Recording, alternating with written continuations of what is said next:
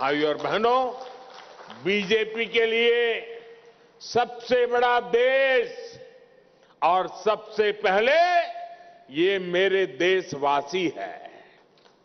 आपको मैं याद दिलाना चाहता हूँ, इराक में तूफ़ान चल रहा था, हमारे केरल से गई हुई करीब करीब 50 नर्सें हमारी नर्सिंग का काम करने वाली बहनें जो केरल से थी, ईसाई इंस्टीट्यूटों में पढ़कर के बड़ी हुई थी, आतंकवादियों ने उनके लिए संकट पैदा कर दिया। वे चर्च जाती हो, लेकिन हमारे लिए वो तो सिर्फ़ माँ भारत की बेटियाँ थी। इसलिए आप खुश हो जाएँगे।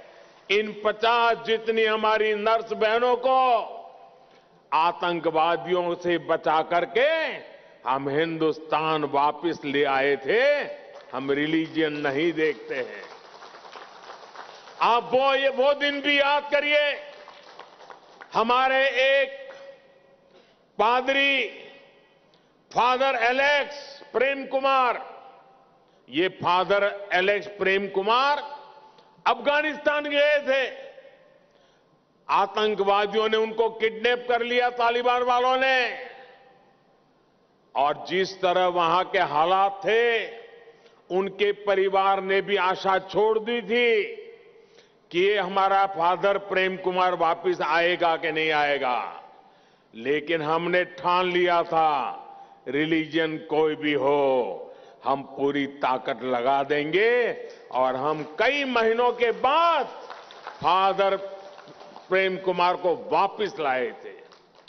बीजेपी सरकार ने उन्हें सुरक्षित वापस लाने का वादा उनके परिवार को किया था। ईसाई समाज के धर्मगुरु मुझे मिलने आए थे। मैंने उनको वादा किया था। आज मुझे संतोष है कि वो काम भी हमने कर दिया। ऐसे अनेक उदाहरण हैं जो नेशन फ़र्स्ट और पीपल फ़र्स्ट को लेकर बीजेपी के कमिटमेंट को दर्शाते हैं। साथियों, मेघालय सहित पूरे नॉर्थ ईस्ट के विकास के लिए हमने पुरानी सोच और पुरानी अप्रोच को बदल दिया है।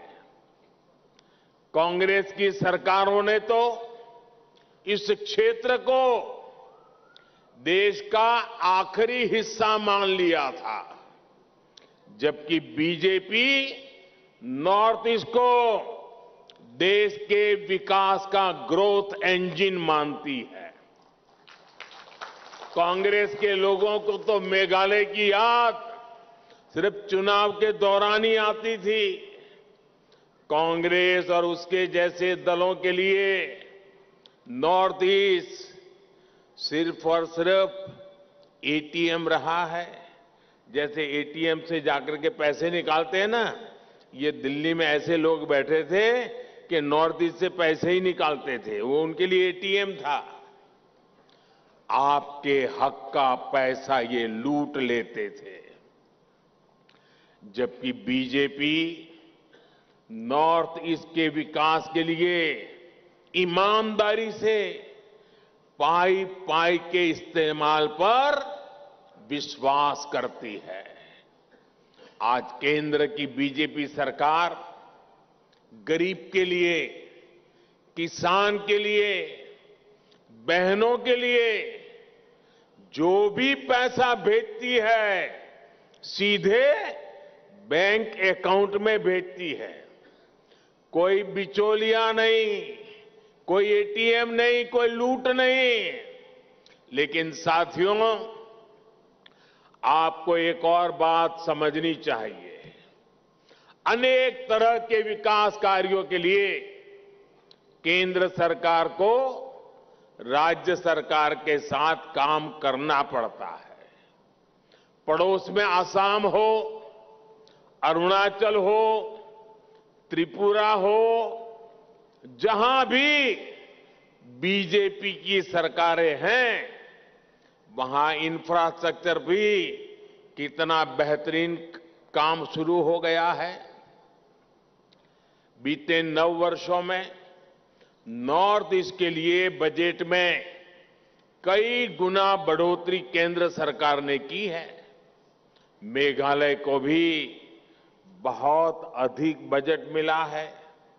लेकिन आज जब यहाँ लोगों की बातें सुनता हूँ तो बहुत दुख होता है। लोग कहते हैं कि पैसा लगा ही नहीं, न सड़कें बनी, न स्कूल कॉलेज, न अस्पताल बने, फिर वो पैसा गया कहाँ? यहाँ का यूथ कह रहा है कि यहाँ रोज़गार के अवसर ही इन्होंने खत्म कर दिए हैं। जो भर्तियाँ होती हैं, उनमें करप्शन है, भाई भतीजावाद है। भाई और बहनों, इन्हीं सब बातों को देखते हुए ही मेघालय ने तय किया है कि दिल्ली और शिलोंग दोनों जगह बीजेपी सरकार होनी चाहिए। होनी चाहिए कि नहीं होनी चाहिए? होनी चाहिए कि नहीं होनी चाहिए? मेघालय के हक का पैसा मेघालय के विकास में लगे, इसके लिए डबल इंजन सरकार ज़रूरी है। यहाँ बीजेपी सरकार ज़रूरी है। मेघालय को आगे कैसे बढ़ाना है? ये विजन और विश्वास बीजेपी के पास है। हर अड़चन के बावजूद बीते नौ वर्षों में अनेकों आदिवासी गाँवों तक पहली बार बिजली पहुँची। गाँव की सड़कें हो, हाईवे हो एयरपोर्ट हो, रेल लाइन हो, पानी हो, हर काम के लिए पहले से कहीं अधिक पैसा दिल्ली से भेजा जा रहा है। गाँव की सड़कों के लिए पैसे की कोई कमी नहीं है। केंद्र सरकार ने इसके लिए रिकॉर्ड बजट रखा है। पिछले नौ वर्षों में मेघालय में नेशनल हाईवे के निर्माण पर पाँच हज़ार करोड़ रुपए खर्च किए गए हैं। पाँच हज़ार करोड़ मेघालय के 11 ज़िले आज नेशनल हाईवे से जुड़ चुके हैं। केंद्र सरकार मेघालय को आसपास के देशों से भी जोड़ना चाहती है। कोशिश यही है कि यहाँ के किसानों, फल सब्ज़ी उगाने वालों को बड़े बाज़ार मिले, ज़्यादा इनकम हो। तुरा दालू नेशनल हाईवे के चौड़ीकरण पर हम तेज़ी से काम कर रहे हैं।